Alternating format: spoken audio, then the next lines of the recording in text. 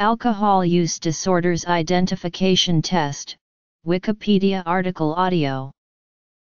The Alcohol Use Disorders Identification Test is a 10 question test developed by a World Health Organization sponsored collaborative project to determine if a person may be at risk for alcohol abuse problems.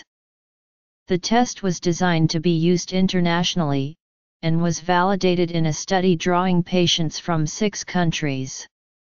Several research studies have found that the audit screening tool is a reliable and valid measure in identifying alcohol abuse problem behaviors and it has been found to be a valid indicator for severity of alcohol dependence. There is some evidence that the audit works in adolescents and young adults, it appears less accurate in older adults.